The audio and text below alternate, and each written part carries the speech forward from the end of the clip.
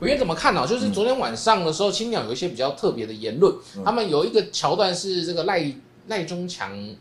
律师吧，然后他带着大家在那边喊说：“这个警告洪孟凯，警告叶元之。”大家想说：“哎，你们现在真的是把自己当成红卫兵、绿卫兵对啊，我觉得他们喊那个警告，而且那个讲话那种语调啊，其实让人家听着真的很不舒服。我们不知道说我们到底是做什么事情，民主政治不就是大家各自表达自己的意见吗？那我们的意见跟你的不一样，你就要警告我，好像对我有带威胁，好像我没有听你的，就要对我怎么样？那这是健康的民主发展吗？好像把自己当做是凌驾民主之上的，然后动不动就要对你怎么样，对你怎么样？你跟我意见不一样，我就要把你干掉，把你罢免。我觉得，我觉得实实际上这不是民主，这是假民主之名，行就是斗争之实啊，对啊。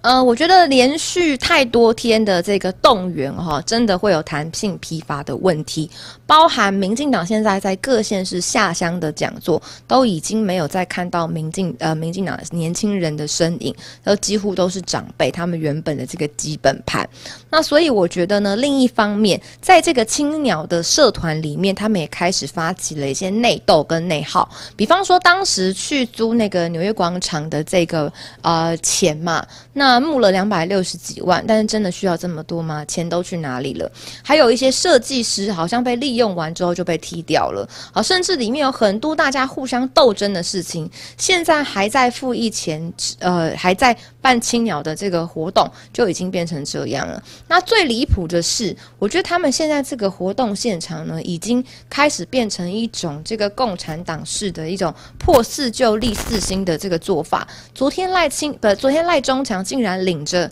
所有的年轻人们，就是虽然很少数，但是领着年轻人们不断的喊说：“警告叶元之，警告徐小新。”那这个跟要把我们五花大绑起来送去劳改有什么两样？哦，所以我觉得他们的这整个方向，甚至他们还讲说反呃。支持核能就是支持威权，好，然后完全不顾说陈水扁时代也有核试正在进行当中，所以他们开始用太多的谣言以及与这件事情与复议案与国会改革无无法无关的事情全部掺进来做撒尿牛丸的时候，当然我觉得他们的动员力就会越来越少。我们的提案是我们提什么案子都是我们自己的决定，那要罢免也是百姓的决定，这公民社会本来就都可以这样子。我现在这些都是尊重，因为本来这是这个是权利嘛，哈，就是说，呃，行政有提他复议的权利，我们有我们有决定怎么做的权利，这个我觉得这个都没有关系。但是就是说，身为执政者，如果这样做的话，事实上。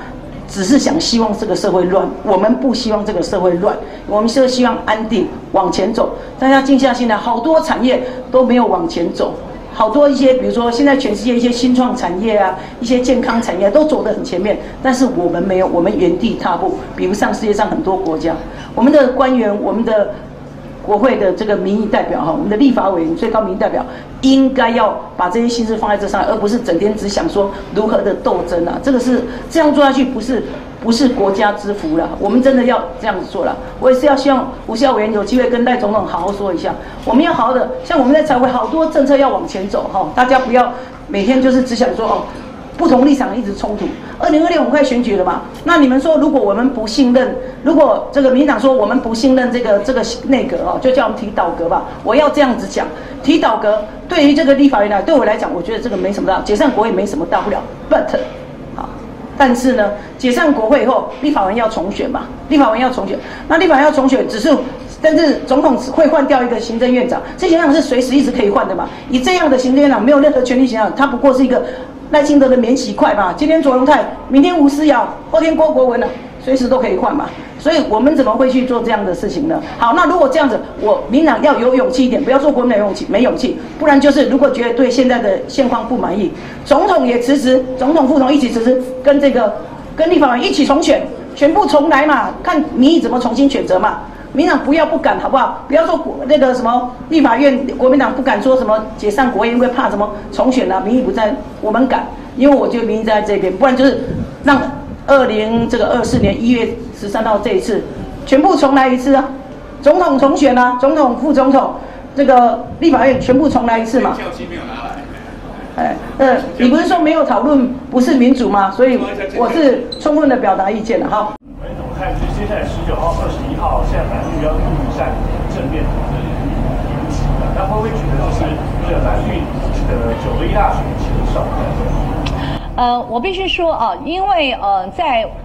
原来其实非常单纯的哦，就是呃，立法院通过国会改革法案，但是呢，民进党把它整个无限上纲的升高成一个政治性的操作，啊，甚至鼓动那个青鸟行动来包围立法院，那么非常又立刻的呢，要把它变成一个呃遍地烽火，甚至是要罢免国民党的立委。那所以我觉得在这样的整个国会改革法案，本来是希望。国会能够有更增加我们监督的力量，但是呢，民进党的操作显然它是一个呃，为了二零一六年的一个前哨战，不管是他是县市长哈，或者是甚至未来的立委的席次，我觉得民进党都有很浓厚的一个操作的这个。意味在里面，那么所以你可以看到，他们呃已经喊出要罢免呃国民党的立委，这完全是民进党已经不演了。原来是侧翼在讲，现在呢，民进党的明代自己都承认，准备要罢免十个国民党的立委，所以司马昭之心，路人皆知。他现在就是罢免的声量很高，那黄杰似乎还比你还高，但他昨天在高雄的场子跟底下的支持者说，他要来处理，是怎样处理啊？生鱼片还是？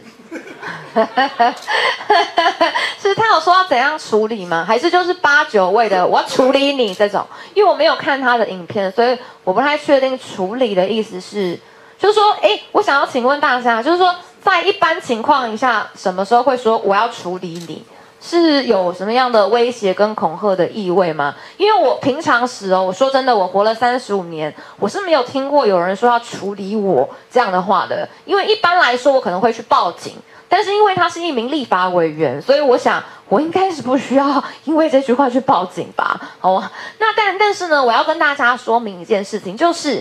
我今天作为立法委员，我是非常热爱我自己的工作，那我觉得能够帮人民发声。那对我来说，我非常的满足，我也希望我能够做得更多。好，所以当有人不管用嘲讽的方式，不管用恐吓的方式，不管用威胁的方式，不管用八九的方式，想要透过这些说法让我们闭嘴，让我们不再愿意，甚至恐惧、害怕我们热爱从事的工作，这对我来说是不可能发生的。因为我们是很坚定也很坚强的，因为当我们热爱我们这份工作的时候，所有的信心跟热情都会超过他们想要试图对我们带来的恐惧，所以我一点都不担心啊，因为我觉得，好，我觉得，呃，他要怎么处理我那个，我有一个倒数倒数计时器啦。这应该是黄杰他第呃哦，黄杰说要告我的这第六十二天哈，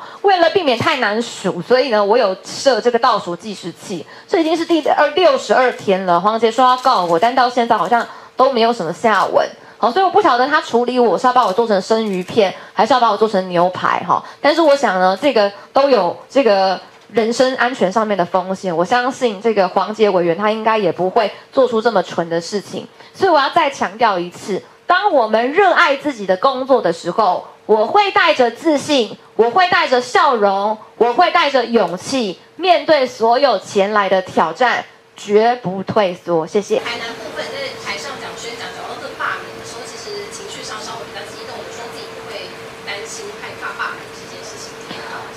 跟我爸我我的事情没有关联，是那时候我在后面跟民众拍照，因为你知道在台南，然后我们后面就大排长龙，就排到看不太到人潮的尽头。然后那时候刚好是王宏威委员在前台讲话，他说五十四席一席都不能少。那我听到这样子的话，我当然是觉得很感动。对，所以我的想法也是一样的，我们五十四席一席都不能少。不管你今天说要罢免的是谁，我们国民党都会团结以对，都会一起来协助他，不会让任何一个人来落单。所以呢，我觉得当天来现场的民众，就是我们最坚实的，给我们最坚实的力量跟勇气的人。对，所以这么多人看到这么多人在现场支持我们，我们当然是很感动的。对，所以我觉得王宏威委员他说的非常好，五十四席都不能少。五十四席，一个都不能倒。